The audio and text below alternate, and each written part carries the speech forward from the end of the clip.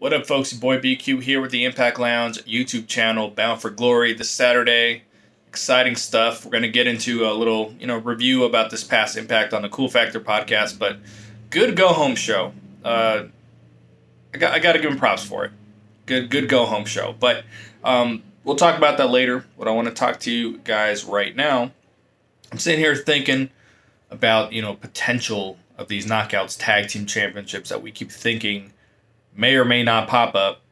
I, I would imagine they're mo- more likely to pop up than than not. But here are my two ways that I would introduce these titles, because I do think they've lost steam as far as, you know, when they were doing the Slammiversary rebuild, they were kind of tossing the potential of these tag team championships popping up too. Now, Slammiversary had a lot of buzz behind it, so the tag team titles were not necessary for the pay per view. But I think a lot of us expected that when Bound for Glory rolled around, you know, in order to match the level of excitement that Slammiversary had, that we would get something with the Knockouts Tag Team Championships. It only made sense. Uh, and that's not what's happened at all. As a matter of fact, the tag team aspect of the Knockouts division on television's kind of, you know, kind of going away. It's kind of going down. We don't see it quite as much. We see it a little bit. Last week we got the three way match you know, but it's not not as prominent as it once was. So sat there thought about what what were, what are the ways that we could, you know, uh, it, they could be introduced where where the buzz would be kind of built again, and we could get excited about it. The first one, and this is the most unlikely, even though there's there's probably a possibility of it, is with the call your shot gauntlet. Um, I know that they're teasing that Rhino or Heath have to be part of the, the finish, right? I don't think it's a, a foregone conclusion that one of those two are going to win. Because if you could bring Father's Day, Father James Mitchell from, from the dead, you can bring Rhino or Heath back to Impact Wrestling under contract. You feel me on that? They don't necessarily, the story of Heath signing doesn't necessarily have to conclude Bound for Glory. There's a chance that they get screwed at the end. Could be by a you know, a surprise competitor. But what if it's by one of the knockouts? What if it's by Taya Valkyrie? And by calling her shot, you you I don't know how they could pull it off exactly, but by calling her shot, she could actually introduce the tag team championships back into into Impact. Because last week Josh, you know, and Josh has a habit of kind of forecasting things a little bit. That's why this came up. You know, I thought about it to begin with. Actually, uh, someone on Twitter mentioned it, mentioned it as well.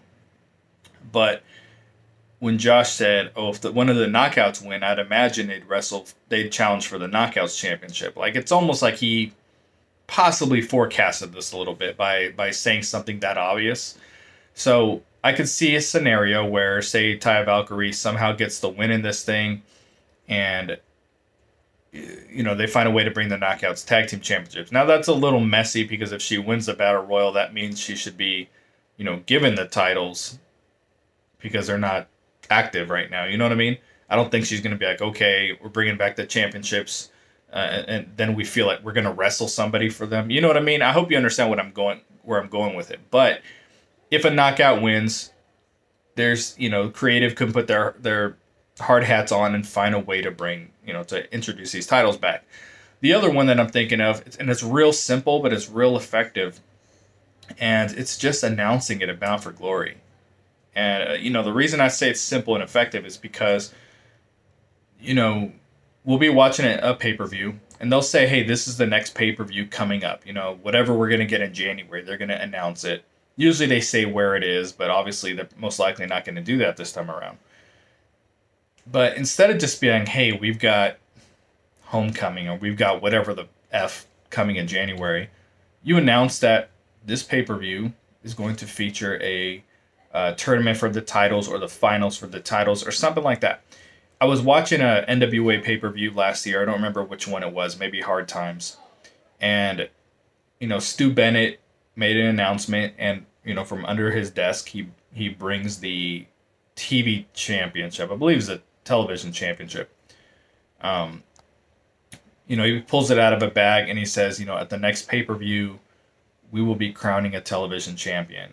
and you know the way that it was delivered on screen was was really buzzworthy. The way they just the way they presented it was like, oh crap, you know, now we're gonna get the next several weeks of television leading up to the next pay per view and, and to a climax. You know what I mean? So sometimes when they conclude a pay per view, they're kind of like treading water for a couple months.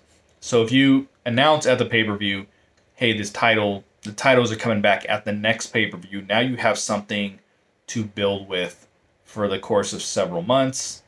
And it's different because it, it's, we're going to get more knockout centric episodes, which I think is a good thing. You know what I mean? So, you know, that's just me spitballing a few things.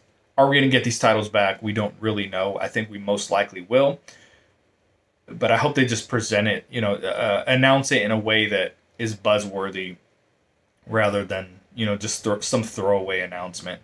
I hope it's not something that they're, oh, we're, you know, uh, we're going to do a tournament on Twitch that no one's watching. You know what I mean? So we'll see. Uh, just kind of spitballing some stuff. Sorry for wearing an AEW shirt. Oh my gosh, uh, join Dark Order.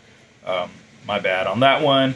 I usually try to watch what I'm wearing in the show. So uh, that is it.